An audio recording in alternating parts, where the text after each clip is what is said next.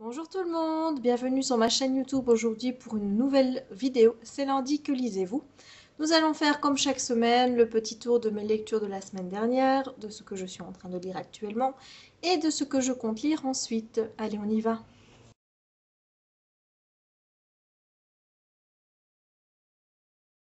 Alors la semaine dernière, si vous avez suivi un petit peu euh, mes dernières chroniques vidéo, vous savez que j'ai lu deux livres j'ai lu Vertige, donc le tome 2 de la saga d'année de Lorraine Kate aux éditions Bayard Jeunesse. Donc un roman que j'ai préféré au premier tome, malgré que j'ai encore des interrogations, qu'il y a des choses encore qui m'ont perturbée, déçue dans le roman.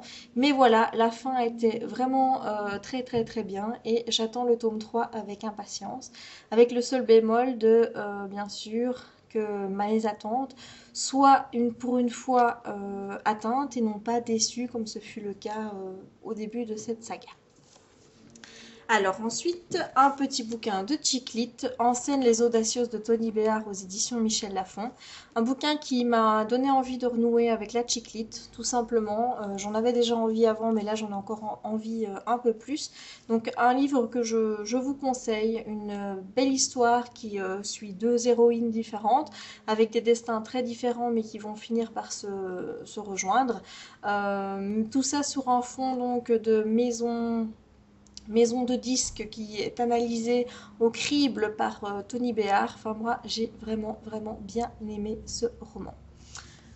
Voilà, c'est tout pour mes lectures de la semaine passée.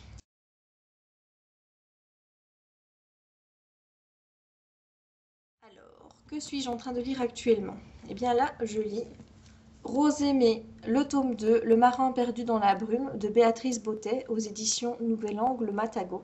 Alors ça, c'est un roman que j'attendais, puisque j'avais vachement aimé le premier tome. Je pense que j'en avais fait d'ailleurs un coup de cœur, si mes souvenirs sont bons. Euh, si vous vous souvenez, donc Rose aimée, c'est cette fille qui porte malheur, qui pense euh, sérieusement que lorsque quelqu'un, donc un homme, euh, lui veut du mal, en tout cas essaye de faire avec elle des choses pour lesquelles elle n'est pas du tout d'accord, il lui arrive malheur et donc elle rencontre Martial, qui est un jeune homme qui vient de San Francisco, et euh, elle va tomber amoureuse de lui, mais elle va avoir peur en se disant, mon Dieu, si jamais je, je lui porte malheur, euh, qu'est-ce qui va se passer? Mais bon, finalement, ils vont vivre une très belle histoire d'amour.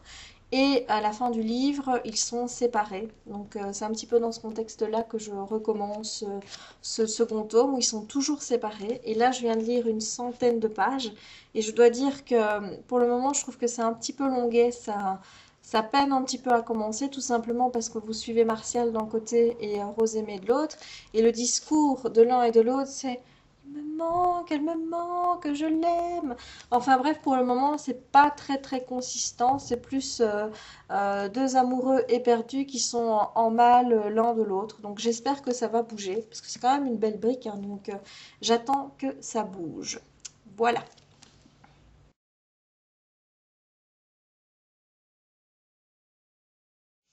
Alors, que vais-je lire la semaine prochaine? Eh bien, bon, je vous avais habitué à ne plus rien vous dire, euh, puisque de toute façon, je ne respectais pas ce, que j'avais prévu. Là, il y a un bouquin normalement sûr. Il s'agit de 658 de John Verdon, un thriller aux éditions Grasset. Euh, c'est une lecture commune qui est prévue avec ma petite euh, Anne-Sophie Chérie. Donc, celui-ci, je le mets dans, ma, ma palle à lire de la semaine, obligée. En plus, j'ai super envie de le découvrir.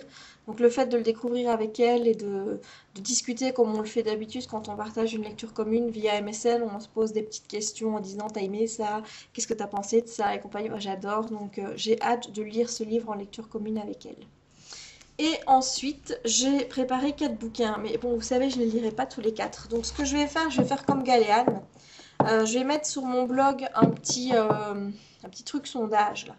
Vous voyez où je vais vous mettre les quatre titres et euh, bah, celui qui euh, récoltera le plus de votes quand j'aurai terminé 658.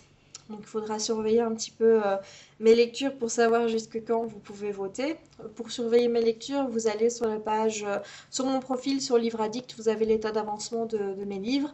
Je le mets régulièrement à, jour, au moins une fois par jour. Donc comme ça, vous pourrez voir où j'en suis. Donc quand j'aurai fini 658, eh bien je choisirai euh, le livre eh ben, qui aura récolté le plus de votes, tout simplement. Alors, vous allez devoir choisir entre Les vampires de Chicago, tome 1, Certains mettent les dents, de Chloé Neal aux éditions Milady. Euh, ce bouquin, je suis allée l'acheter le jour de sa sortie, c'est-à-dire vendredi 24. Euh, j'avais assemblée générale au barreau, donc on était on habite comme chaque année, tous les avocats réunis pour une assemblée générale qui dure. Et euh, ensuite, on va boire un verre. Et bref, moi, je me suis éclipsée un moment. Je suis allée dans ma librairie et hop, je suis revenue avec, euh, d'autres livres aussi, hein, mais avec celui-ci notamment, Les Vampires de Chicago. Voilà, donc ça, j'ai très envie de le découvrir. Donc si vous voulez avoir mon avis, votez pour celui-ci. Ensuite, j'ai mis Noire Magie de Laura Anne Gilman aux éditions Harlequin collection d'Arkis. Euh, c'est un des quatre livres qui est sorti dans la dernière fournée, donc au 1er juin. Euh, je vous lis brièvement la quatrième de cover. Donc, New York grouille d'être capable de plier à leur volonté le courant magnétique de la ville. Qui parmi eux s'est servi de cette énergie pour dérober l'incantation? Une incantation à la fois puissante et dangereuse. Wren Valère est chargée de remonter la piste du coupable. Investigatrice hors pair, experte de la manipulation du courant, Wren est bien trop rebelle pour avoir rejoint sa communauté de magiciens. Elle s'est associée à Sergueï. Ensemble, ils vont mener l'enquête. Elle est le feu de l'électricité, il a la froideur de la raison, du moins en apparence. Voilà, donc si vous voulez que je lise ce livre, et vous voulez avoir mon avis dessus, vous votez pour Noire Magie de Laura Anne Gilman. Ensuite, on va rester dans le fantastique vampire avec le journal d'un vampire tome 1 de Ed Smith aux éditions Black Moon. Euh, c'est pas journal d'un vampire, c'est journal de Stéphane. Euh, donc la, la saga, j'ai déjà lu 3 ou 4 tomes, euh, je sais plus. Euh, je pense que c'est 3 et le 4 est dans ma palle. Voilà, c'est ça. Mais ici, il s'agit vraiment de la saga dérivée de la série. Donc, il euh, se concentre sur les frères Salvatore et plus particulièrement sur Stéphane. Donc, si vous avez envie que je lise le premier tome de la saga Journal de Stéphane, vous votez pour ce livre-ci. Et enfin, dernier choix, il s'agit de Et en, finit-on jamais d'aimer ce que l'on aime de Martine Moriconi. C'est un livre que je vous avais présenté dans mes In My Mailbox précédents. Voilà, donc euh, je vous avais déjà lu la quatrième de cover, donc euh, je ne vais pas la relire ici. Je mettrai peut-être les liens vers la fiche Bibliomania des quatre livres si vous le souhaitez. Euh, donc si vous voulez que je livre ce livre assez estival par ses couleurs, qui est un livre plus contemporain, qui n'a rien du tout à voir avec un univers fantastique euh, bitlit, eh bien vous votez pour ce livre-ci. Voilà. Et donc voilà, donc ça fait quatre, euh, petits livres et ben, je me laisserai porter par vos, par vos avis, je verrai bien un petit peu le bouquin qui récolte le, plus de voix et je le lirai. Donc les votes se font sur mon blog, donc je vous remettrai le lien vers l'article de mon blog euh, parce que via YouTube ça va être difficile. Hein. Donc c'est pas la peine de laisser un commentaire sur YouTube pour me dire j'ai envie que tu lises tel bouquin. Je tiendrai pas compte euh, de, ce, de cela dans le vote final puisqu'il y aura vraiment, euh, j'ai vu, ça sur le blog de Yaliane, je l'ai vu aussi sur le blog de mon art annuel chéri. j'ai vu vraiment donc c'est un petit truc de sondage où il faut que vous cochiez et donc ça se fait tout seul.